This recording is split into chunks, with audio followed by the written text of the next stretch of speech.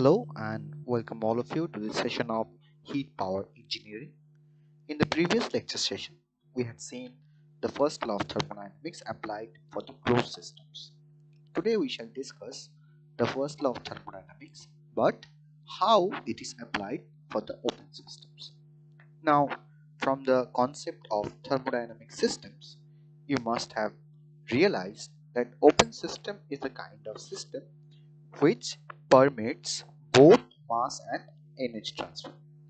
Since there is continuous flow of matter in the open systems, you must realize that to focus our attention on the open systems, we need to specify a certain region in the space by which we can do all the analysis.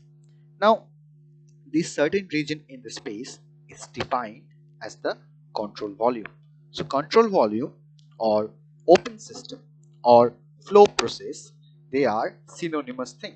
That means they are the same thing but they are called by different names.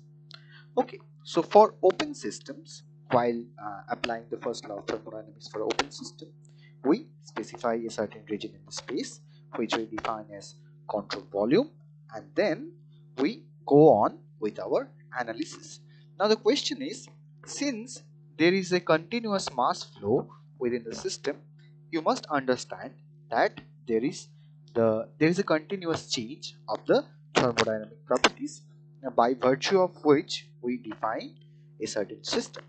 And now what happens is that uh, to to to distinguish from the system and the, uh, from the surroundings to distinguish from the surroundings we need a boundary and this boundary in this case is called as control surface. Okay now there is a uh, very important thing you must understand. Since all the properties are going on changing because of the mass flow if we understand that the flow the flow parameters or the flow properties remains invariant with respect to time then that specific flow is called as the steady flow and if the properties remains invariant with respect to space then it will be called as a uniform flow. So when both the properties uh, when the properties remains invariant with time and space it is called as steady uniform flow. I believe you have got uh, the specific things. So we will be trying to apply the first law of thermodynamics considering that a steady flow is taking place. Okay. So let us start our discussion on the first law applied for steady flow processes or uh, open systems. Before that we would uh, like to see the objective of this session. So we will start analyzing the first law of thermodynamics for open system. We will see that there are different quantities of energy which is uh, transferring through the system and there is a lot of interaction taking place between system and surroundings because of this open system. So what happens? The control volume or the fixed uh, space in the region can interact with the surroundings via the heat transfer or work transfer. And you must understand that since there is mass flow energy is also carried through this mass. Okay so there are three types of energy transfer going on first of all the heat or work transfer between the system and the surroundings which is uh, uh, inherently present uh, when we discuss the interaction characteristics of the system and surroundings. And because of the mass flow there is some energy quantities which are also associated with this mass flow. So you need to consider those energy quantities also.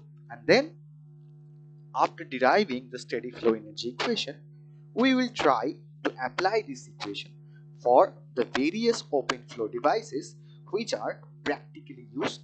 And you will be uh, knowing that most of the engineering applications are uh, are uh, basically formed from the concepts of open flow devices. Or in other words we can say that most of the engineering devices are nothing but open flow devices. Okay. So then our lecture will be completed since uh, in your syllabus there is no numerical allocate allocated with respect to these uh, open flow systems so we will not take some numericals. Okay so let us see how the steady flow energy equation can be derived for open flow systems.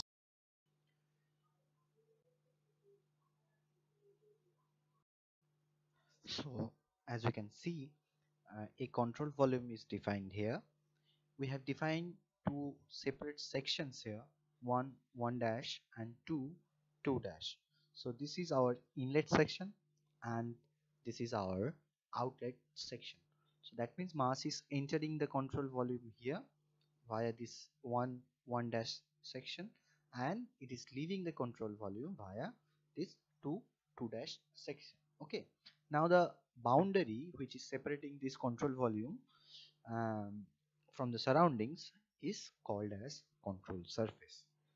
So now we have to understand that since there is mass flow and this flow is continuous we need to understand the whole change of properties and all other energy interactions in terms of time. Okay so we need to describe all the change of properties as well as all other possible work uh, or heat uh, transfers or any kind of energy transfers in the perspective of time.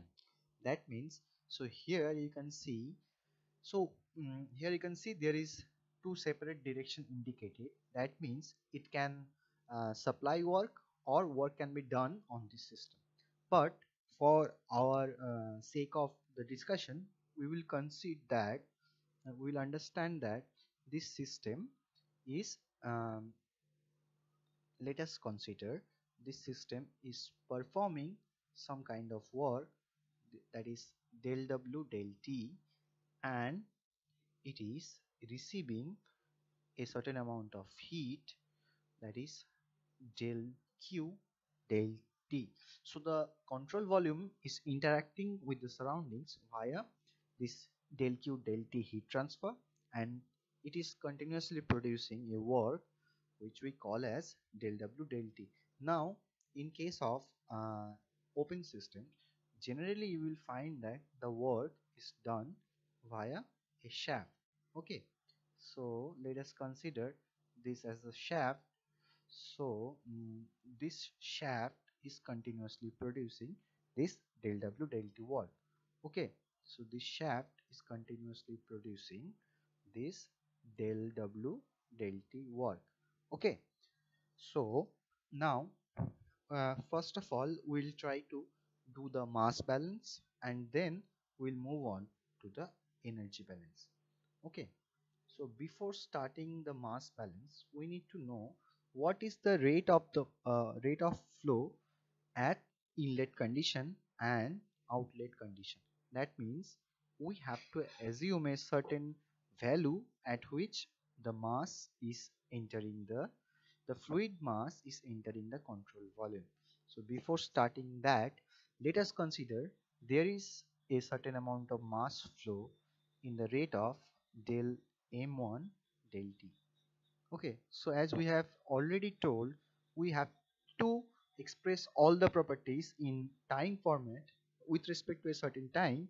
So we can assume that this del m1 del t is the mass flow at inlet condition. And at outlet condition let us assume it is del m2 and via uh, sorry del m2 del t. Okay. So you can see that at inlet condition the mass flow rate is del m1 del t. And at outlet condition the mass flow rate is del m2 del t.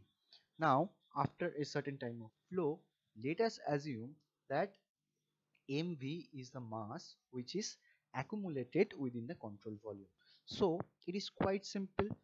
It is very simple to analysis that del m1 del t that means the mass which is entering the system minus del m2 del t. So so this is the difference between the mass which is entering the system the control volume and the mass which is leaving the control volume. So obviously it should be equal to del mv delta t. Okay. So it is very simple to understand.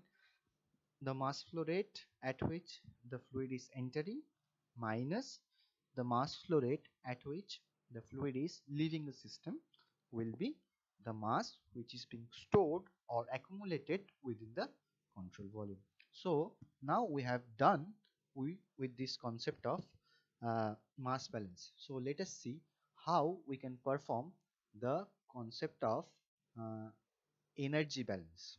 Okay so now we'll be much more keen to understand the energy balance. So let us see how this uh, energy balance can be done. Okay. So before um, starting the energy balance it is uh, quite evident that it is interacting with the surroundings. That means the control volume is interacting with the surroundings via this heat transfer and this work transfer. Now both of these are positive here. Because we are we have considered that this is a heat input to the control volume and this is the work done on the surroundings. So these two are considered as positive. Okay. Now what is the most important thing for open system you need to understand is that there is continuous mass flow. Okay this is the most important point. So uh, in case of open system where there is continuous stream of flow. You need to understand what is the energy that is carried by this continuous stream of flow. Okay. So the fluid stream which is continuously flowing it carries four different type of energies. Okay. So let us define e as the energy of the stream of fluid which is continuously flowing in the control volume. So e is the uh, per uh, per unit mass energy. So e is the total energy of all possible uh, types but expressed in per unit mass. Okay. So as the fluid is moving so there should be kinetic energy. As the fluid um, is moving in a uh, non-conservative force field it will have a certain potential energy. It should have a certain amount of internal energy because you know when the temperature is greater than 0 kelvin it will have some amount of internal energy or intermolecular energy stored within him. Now the fourth quantity is very important here. The uh, stream of fluid which is flowing it carries a certain amount of pressure energy or which we uh, know as flow work. So flow work is much more uh, important which we are associated with. So we have already discussed this concept of flow work right? But here we are considering this flow work as the energy which is being carried by the continuous stream of fluid okay? And you know the flow work or pressure energy is defined via the terms of PV okay.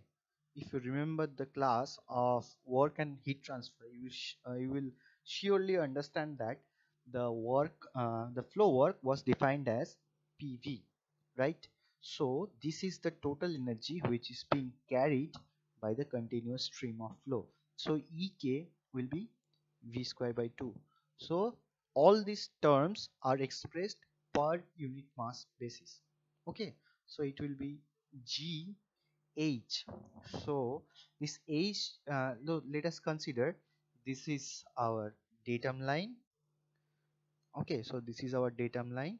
So the inlet is at a certain height. That means if we draw a line here it will obviously have a certain height. Okay that height is expressed by h. So for inlet condition it will be h1 and for the outlet condition it will be h2 so let us not get into that but the point is that this control volume the inlet and the outlet does have a certain height with respect to a fixed datum line. Okay. So this is what we mean by this h. Now this u is very simple. We have already written. So there will be no change in that. So u plus pv now we'll be interested in doing the energy balance.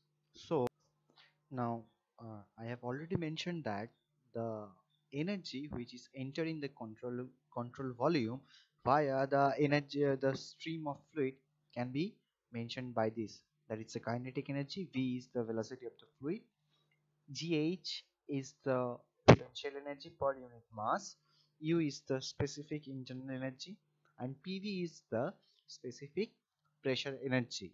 Okay so this when uh, we add up all these four types of energy we get the uh, total stored energy in a certain fluid stream which is moving into the control volume and leaving the control uh, volume in in the inlet condition and the outlet condition. Now if we consider this dev dt is the amount of stored energy after time t then we can easily formulate this equation. Now so this is the energy which is coming into the control volume. So this is what this dm1 dt was the mass flow rate. So you need to add up uh, you need to multiply the uh, the stream of fluid which is carrying a certain amount of energy which is mentioned by this formula here.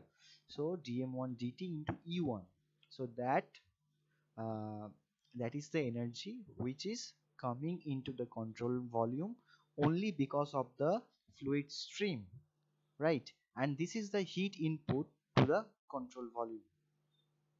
So similarly this is the energy dm2 dt into et which is leaving the control volume and this work output is uh, going out of the control volume okay so now if we put uh, the value of E1 in terms of this uh, kinetic energy, potential energy, specific internal energy and pressure energy, we find the equation like this.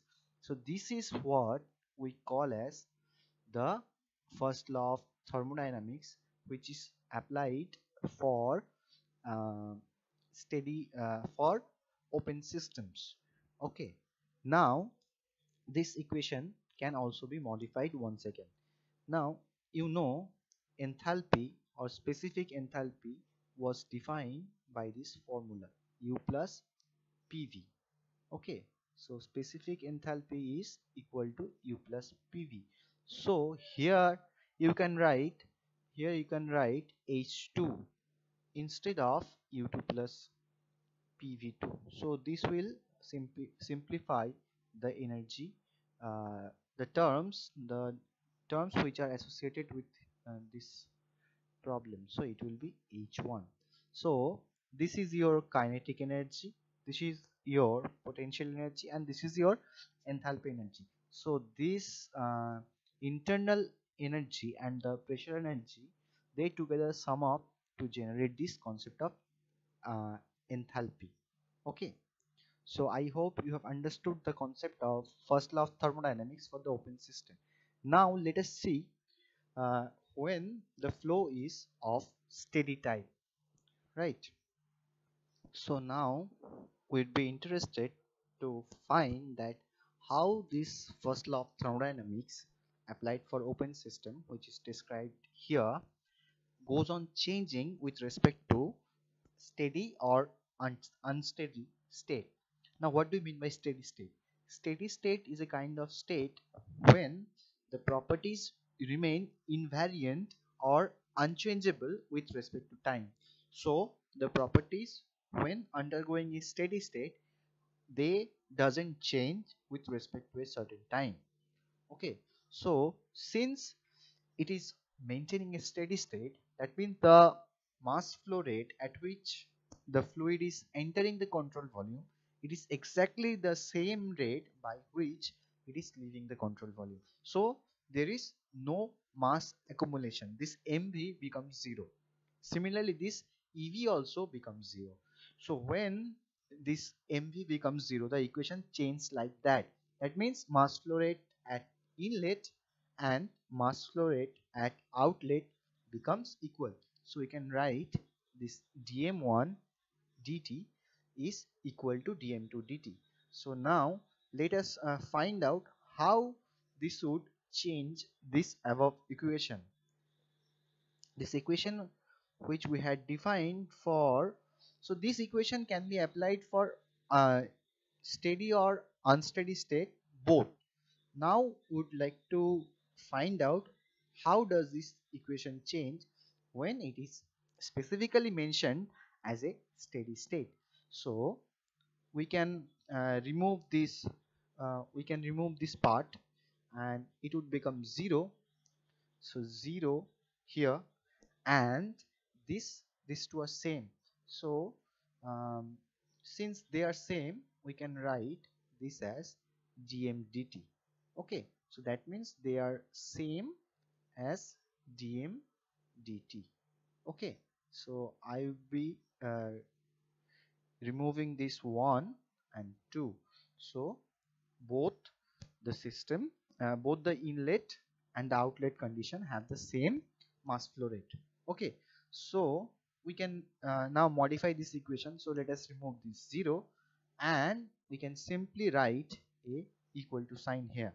That means dm dt into v1 square by 2 plus gh1 plus h1 so now i think this uh, would confuse uh, would confuse you confuse you. Uh, so what I, I would like to do I would like to change this h into z so that it becomes much more appropriate. So let us change it here. So let us write a z here. Okay. So it would be much better to understand. Since these two values uh, these two values are getting merged which is causing which would cause much misunderstanding. So let us see including this. Now this is our equation at steady state. Okay so if uh, dm dt is uh, same for both the sides we can modify this equation uh, by dividing this dm dt for both the sides. So this is this equation here is the steady flow energy equation but here you must understand that all the terms expressed here are expressed in in the rate basis. That means all the terms are expressed per unit time. Okay so all the terms are expressed in the per unit time basis. Now if we divide divide this dmdt from both the sides we will find this equation changes into like this. So we are dividing this equation by dmdt so it would be gz1 plus h1 h refers to the enthalpy plus dq dm okay so here you can find the change. This dq dt which was earlier dq dt it changes into dq dm which would be equal to v square by 2 plus g z 2 plus h2 that is the enthalpy at second case plus del uh, so please ignore this cut sign uh, del m okay so here all the terms are are expressed in per unit mass. Okay so this is per unit time. So this is per unit time. Here all the terms all the energy quantities quantities are expressed in per unit time format whereas all the terms here are expressed per unit mass basis. Okay. So here all the properties oh, sorry here all the energy quantities are specific energy quantities. Whereas all the terms here are expressed in the rate format. Okay. So this is nothing but a uh, nothing but an energy conservation law. But the energy con uh, the energy quantities which are involved in this control volume are different from control mass system or closed system. Here there is kinetic energy because of the motion. There is uh, potential energy. There is enthalpy which comes up from the the summation of internal energy and the pressure energy. And there is heat transfer. So we know we have already defined that this control volume will interact with the surroundings via uh, a certain amount of heat and work transfer. So here we have find, found out the final equation. So this steady flow energy equation can be expressed in two different formats where all the energy quantities would be expressed in per unit mass format that means all the energy quantities would be specific energy quantities. But here all the energy quantities would be expressed in rate format. I hope um, you have understood the, the case here. So we would uh, like to end the concept of uh, steady flow energy equation here. And now we would be interested to find out how this energy equation is applied for the real life. That means there are some open flow devices like nozzle diffusers turbine compressors throttling device like uh, heat exchangers. Now i would i would uh, show you how this equation is governing the uh, characteristics of these different open flow devices. So let us find out um, how this steady flow energy equation which we have just derived how this uh, governs the concept of the different devices in practical life. So let us see that. So as you can see a nozzle here. This is your nozzle for you. So you can see that the inlet area is quite large compared to the outlet area.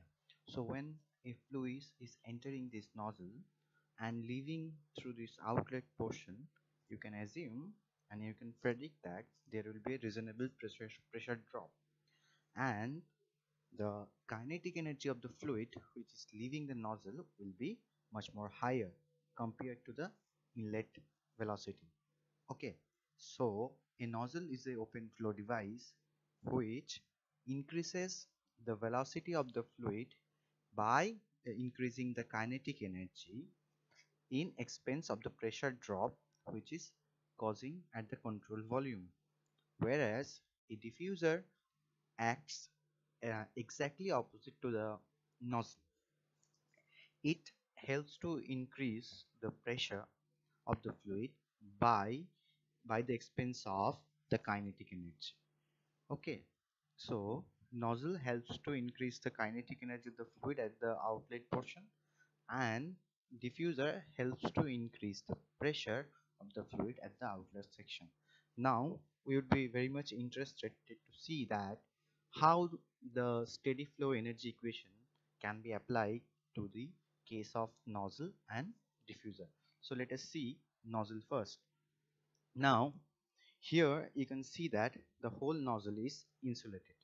Now since the whole nozzle is insulated it means that this dq dm will be zero that means there is no heat transfer. Okay. Simple as that. Now you can obviously find that find that there is no shaft or connecting device. That means nozzle doesn't produce nor it consume any work. So the work done would be also zero right? And what we do in, in case of nozzle we neglect the potential energy changes. Okay so in case of a nozzle or in case of a diffuser we neglect the potential energy changes. So that means this portion and this portion would be also 0 or you can mm, uh, take it like this. So this is your potential energy potential energy change. Okay so this is your change in potential energy right? Now this is very much close to zero. So there is a very minor change which can be neglected. Okay so we are not concentrating on this potential energy and we consider to be as zero. Now what are the factors remaining so let us remove this. So let us just clear up this. Let us clear up this also. So now we can see there are only two distinct terms left. One of them is enthalpy and the other one is the fluid velocity. Now since the inlet fluid velocity is very very low compared to the outlet flow velocity or in other words we can say the outlet velocity is very very high compared to the inlet fluid velocity. So what we do we neglect this portion also. So this equation reduces to h1 is equal to h2 plus v2 square. V2 is your outlet velocity.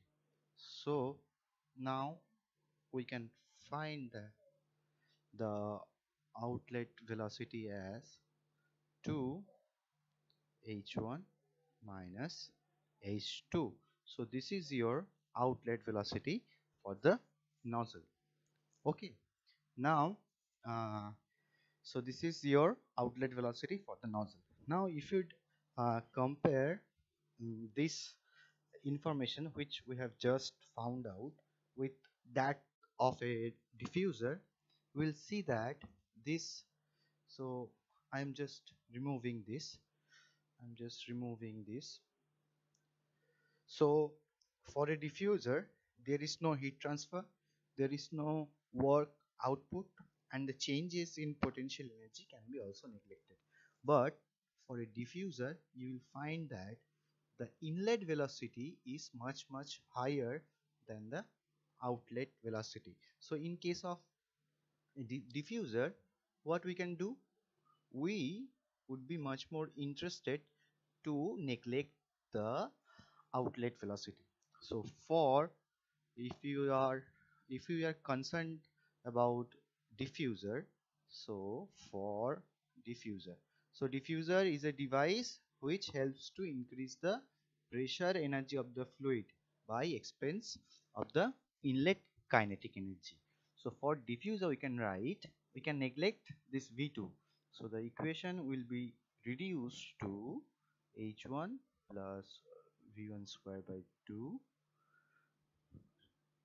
is equal to h2 or we can write v1 as 2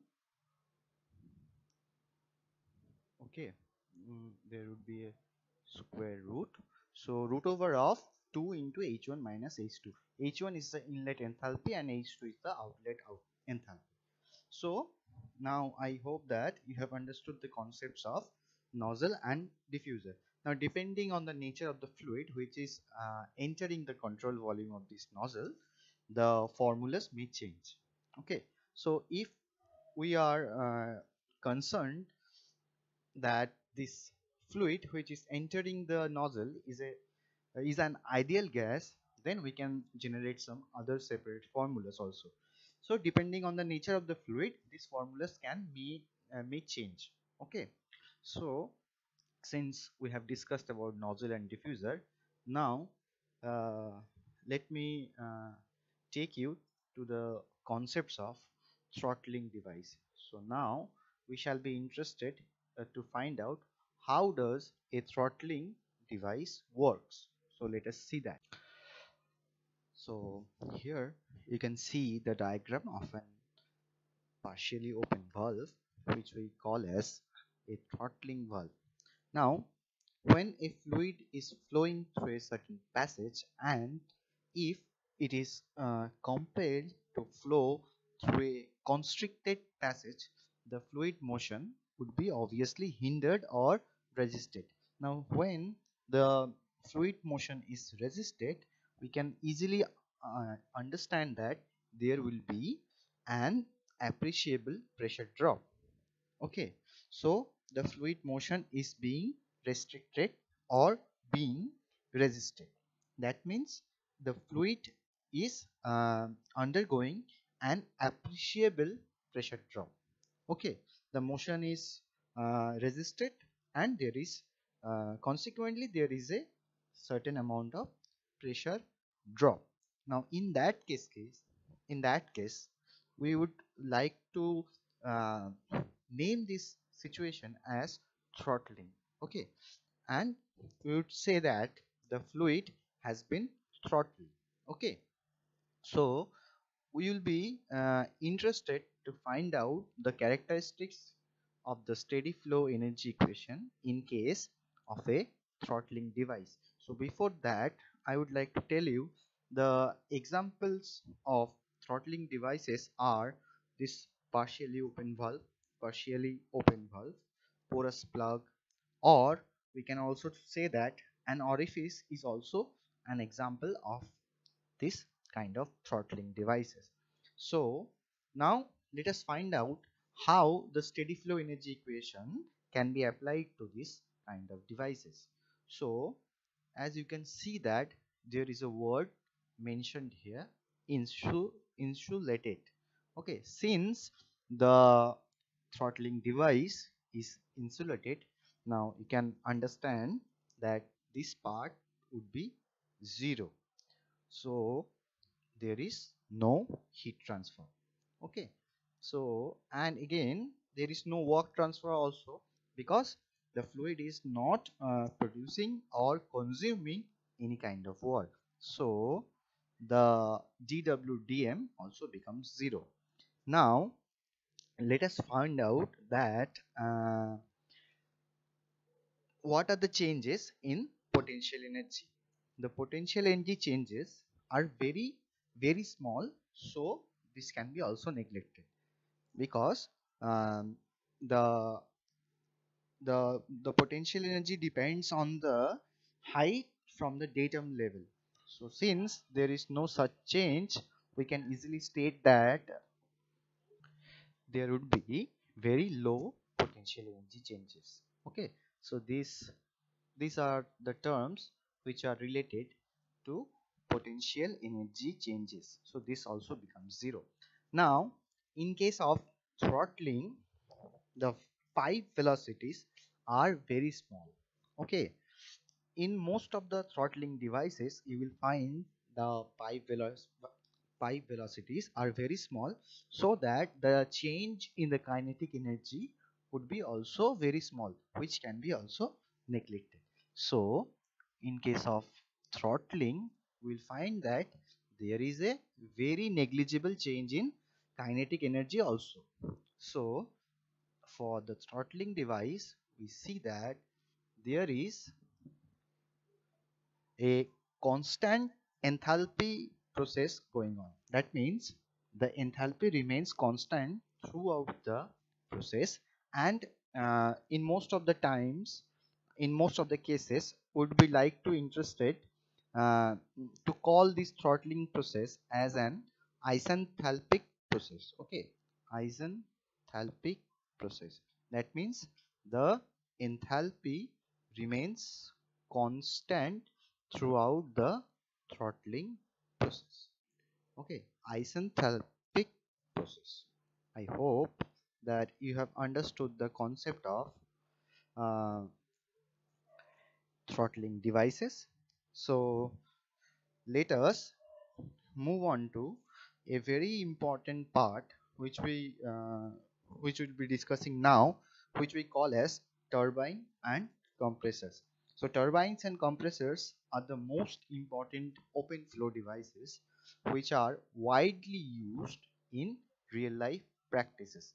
Okay so let us see how does turbines and compressors can be related with the steady flow energy equation. So let us move on to that so here we can find a uh, image of a turbine. Turbine is a device which produces some amount of work output whereas comp compressor is a device which requires some external work. Okay. So to do the desired effect so to get the desired effect compressor always needs some external work input.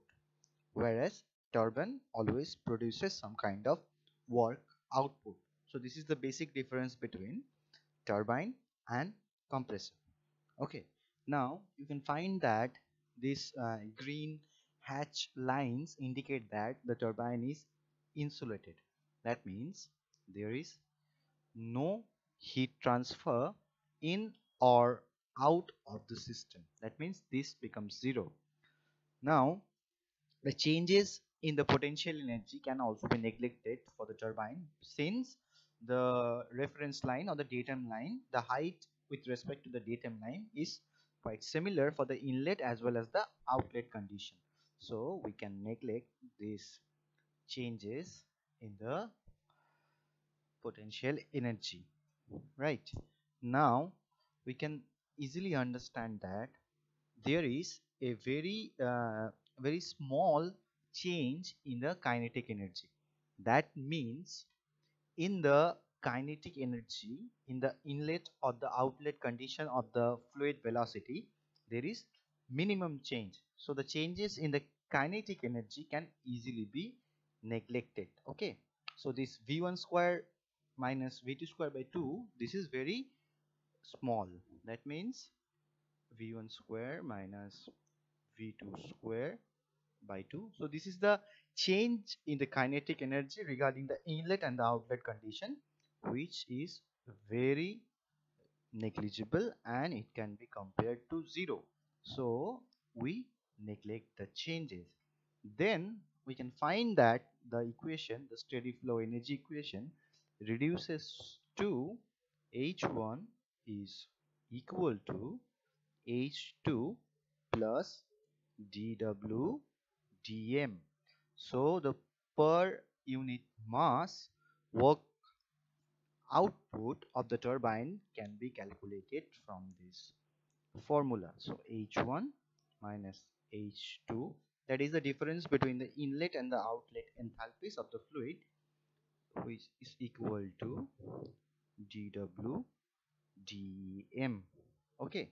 So this is the formula by which any turbine can be governed or we can calculate the work output which is produced by the turbine. Okay. So i hope you have understood the concept of turbine. Now what happens in compressor? Since there is an external work input provided to the compressor to get our desired uh, effect we always give this uh, work transfer by the minus or the negative sign. That means the work is provided by the surroundings which is done upon the system. Okay so we know from the sign convention of work done when the work is done by the surroundings and it is acting upon the system we provide this work as negative in terms of negative. So for compressor so we can write for compressor. So this was for the turbine case. And now we are dealing with the compressor condition. Okay. So for compressor we can write that h1 is equal to h2 minus dw dm that means the work input which is required to work the compressor can be found out from this formula. That means it is the difference between the outlet enthalpy and the inlet enthalpy. Okay so we can easily calculate by the above mentioned formula. Okay so this for turbine and this is for compressor. Okay so for compressor it is quite obvious that we are neglecting the kinetic energy changes we are neglecting the potential energy changes and compressor is also insulated. So there is no heat transfer. This dqdm term becomes zero. So the whole steady flow energy equation reduces into h1 equal to h2 minus dw dm okay. So therefore we can calculate the work done by the turbine and the work done on the compressor. Okay. So you must remember it for your whole life. As you are engineers uh, specifically automobile engineers you must know how does turbine work and how a compressor consumes work. Okay. So i hope i have made myself clear the concepts of turbine and compressors. Now we shall move on to the next part which is which we call as heat exchangers. So let us see how do um, how does the heat exchangers work and what are the steady flow energy equation which governs the heat exchanger uh, working procedure. So let us see that. Heat exchangers are a certain kind of device where heat is transferred from the hot fluid to the cold fluid. Now for the inlet condition the both the fluids are entering this control volume. The hot fluids are entering with a certain temperature. Let us consider th1 and leaving the heat exchanger with a temperature of th2 degree celsius. Now the heat is transferred from the hot fluid to the cold fluid which has an initial temperature of tc1 uh, degree celsius and an and a final temperature of tc2 degree celsius. Now we can easily understand that we know heat transfer takes place from the high temperature uh, system to the low temperature system. Since hot fluid has um, the higher temperature heat is getting transferred from the hot fluid to the cold fluid. Okay so this is uh, pretty simple. Now for the steady flow energy equation of heat exchanger we can easily write down. Let us consider m dot h is the mass flow rate of the hot fluid. Okay so just uh, uh, let me write down the steady flow energy equation of these heat exchangers so as you can see i have written down the steady flow energy equation. Now you must understand that there is very negligible changes in the potential energy and the kinetic energy. So we have neglected that part. Okay now heat exchanger doesn't produce any kind of work transfer. So the work output uh, which was described by the del w del m term can be easily neglected. And there is no kind of heat transfer coming into the heat exchanger from the surroundings so the heat transfer also becomes zero. Only the there is an internal heat transfer going on from the hot fluid to the cold fluid which can be written down by the following formula. So this is your enthalpy for the hot fluid which is entering this heat exchanger okay? And this is your uh, enthalpy of the cold fluid which is entering the system which is entering the heat exchanger system. Okay so this is your uh, initial enthalpy. After heat transfer the enthalpy obviously changes but there is no change in the uh, mass flow rate. So the fluid flow is uh, going on continuously with the same rate. Okay so you can see since there are two different mass flow rates of the hot fluid and the cold fluid we have regarded here that m dot h that means dmh dt is your mass flow rate for the hot fluid whereas dmc dt is the mass flow rate of the cold fluid. Okay i think you have got it. So this is a very simple energy balance where all the enthalpies of the heat transferred internally are balanced here. Okay so this is very simple i hope you have understood this concept of heat exchanger. This is mm, this is the most simplest uh, open flow device okay? There is some in uh, internal heat transfer going on between the hot fluid and the cold fluid. That is the principle of heat exchanger okay? So whenever um, there is an there is a requirement of increasing the temperature of a certain fluid we propose to use the heat exchangers okay